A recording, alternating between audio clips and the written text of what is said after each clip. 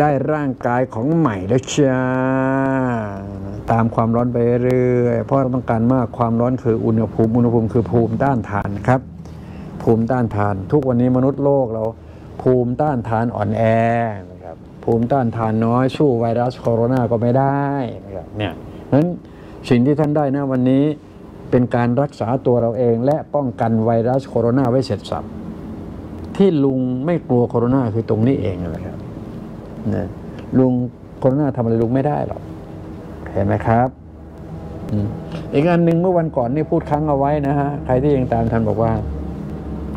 ไอการที่เราปิดปากปิดจมูกเนี่ยฟังให้ดีนะฮะนี่เป็นวิชาการแพทย์นะครับ ที่จะพูด แพทย์เขาพูดกันนะ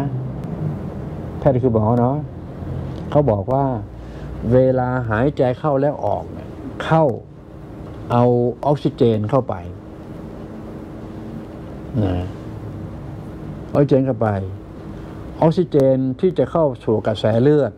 จะต้องมีสารตัวหนึ่งเขาเรียกกันว่าฮีโมโกลบิน เขาเรียกว่าฮีโมโกลบิน ลุงไม่ตามเขาอยู่วันยังค่ำอยู่แล้วล่ะ แต่ลุงบอกว่าสูดหายใจเข้าไปในปอดมันเข้าไปเต็มๆเลย เห็นไหมครับ เวลากลั้นนานนะตัวนั้นมันเบิร์นตัวนั้นมันเผาไหม้ตัวนั้นพอเวลามันเผาไหม้เสร็จสักปุ๊บมันก็ได้พลังงานจากความร้อนที่เกิดการลุกไหม้เผาไหม้ที่ระเบิร์นเนี่ยครับ ส่งไปยังเลือดตามไปทีหนึ่งเห็นไหมเลือดจึงอุ่นไงฮะอุ่นแล้วก็ร้อนคือตรงนี้เอง แล้วตัวอุ่นตัวร้อนเนี่ยมันก็ไปตามผิวผิวเลือดไปทั้งหมดไปทั้งซุปเสียเพราะนั้นร่างกายแล้วก็มีความร้อนตลอดอุณหภูมิมันก็คงที่ 37.5 องศาเซลเซียสเขาว่ามาตลอดโอเคนะครับ นั่นก็คือสิ่งที่มันเป็นมาเป็นไป ทีนี้กลับมาถึงเวลาปิดปากปิดจมูกสูดหายใจเข้า เวลาเผาไหม้เรียบร้อยมันต้องเป็นคาร์บอนไดออกไซด์ออกใหม่ออกไปหมด ใช่ไหมฮะเข้ามาใหม่ หายใจออก กรณีที่ไม่ปิดปากปิดจมูก สูดหายใจเข้าออกซิเจนออกคายคาร์บอนไดออกไซด์หมดเลย แต่ถ้าหากว่าเรามาปิดปากปิดจมูกเนี่ยเวลาหายใจออกแทนที่คาร์บอนไดออกไซด์มันจะหนีไปไกล มันก็สูดเข้าไปอีกทีนึงเนี่ยใช่ปะเห็นไหมครับ มันต้านกับวิชาแพทย์อย่างอย่างร้ายกาจมากนะครับ แต่ทำไมนายแพทย์นางแพทย์ เขาไม่มาพูดเช่นนี้ เห็นไหมครับทำไมให้ปิดปากปิดจมูกทั้งโลกใบนี้เลย เห็นไหมครับ แปลว่าสิ่งที่เขาสอนกันมาเนี่ยฮะเวลาหายใจออกมันคลายคาร์บอนไดออกไซด์ที่ไม่มีประโยชน์มาปิดปากปิดจมูกไว้มันก็เข้าไปรอบสิครับ โอ้ไหมครับ ถ้าเป็นลุงนะ มันเป็นอย่างนี้ฟังให้ดีนะครับ ลุงอย่าพูดเป็นเปอร์เซ็นต์นะต่อไปนี้นะครับ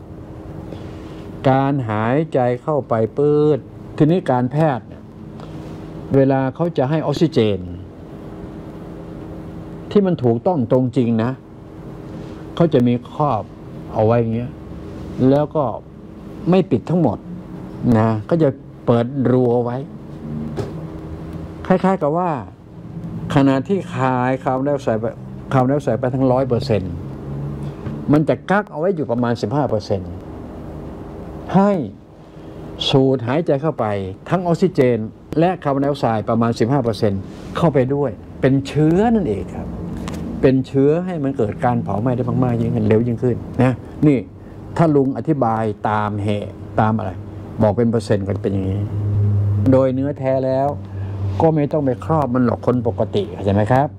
อันนั้นเขาใช้เฉพาะคนไข้นอนติดเตียง ให้ออกซิเจนโอเคเพราะว่าออกซิเจนมันออกมาเป็นเป็นร้อยเปอร์เซ็นต์เขาสามารถปล่อยได้ปรับได้ออกซิเจนเป็นถังนึกออกไหมครับอ่ามันก็เข้มข้นมากกว่าออกซิเจนที่อยู่ในชั้นบรรยากาศออกซิเจนอยู่ในชั้นบรรยากาศเนี่ยโดยที่เราเรียนหนังสือมาก็ประมาณ 21เปอร์เซ็นต์นะในตัวเจนมัน 70 กว่าเปอร์เซ็นต์กว่าเท่าไหร่ไม่รู้พี่จำนอกนั้นก็เป็นพวกไฮโดรเจนบ้าง คาร์บอนบ้าง ใดๆอีกเปปะเละเทะไม่ถึง5เปอร์เซ็นต์ว้ที่ว่านเขาว่าเขาว่า แต่รูมกับบอกว่าไฮโดรเจนมากที่สุดนั่นเห็นไหมอากาศเนี่ยไฮโดรเจนมากที่สุด แต่เขาบอกว่ามีน้อยมากวิทยาศาสตร์ ก็เขาวัดไม่ได้อะโอเคไหม เขาไม่มีเครื่องมือว่าวัดมันวัดไม่ได้ ก็เลยตีแตกตะตกไม่มีหาเลยเลย ที่ไหนได้ ความร้อนทั้งหมดนั่นคือไฮโดรเจนจบไหมครับ เห็นไหมครับความร้อนที่อยู่ที่ผิวกายนี่คือไฮโดรเจน วิทยาศาสตร์ไปไม่ถึงตรงนี้ หรือเปล่า เขาจึง บอกว่ามีไฮโดรเจนน้อยมาก หรือแทบจะไม่มีเลยอ้าตายกู เห็นไหมมันคนละศาสตร์บอกแล้วไง เขาวิทยาศาสตร์ลุงน่ะมันจิตศาสตร์ แล้วก็พุทธศาสตร์ แล้วพูดภาษาวิทยาศาสตร์ของเขานั่นแหละครับ แปลว่า ไปด้วยกันได้ไหมเนี่ยอันะเอาความเป็นมนุษย์มาพูดกันดีกว่า ไม่ต้องวิทยาศาสตร์ไม่ต้องเอาศาสตร์ใดๆมาพูด เอาความเป็นมนุษย์มาพูดกันดีกว่าณวันนี้อะไรครับดีไหมครับ ใครก็ตามที่สามารถที่จะบอกว่าเราคือมนุษย์คนหนึ่ง มันก็ไปด้วยกันมาด้วยกันเลือดสุพรรณของเรานี่เอ่ยบ้านท่านบ้านผม มันก็ไปด้วยกันได้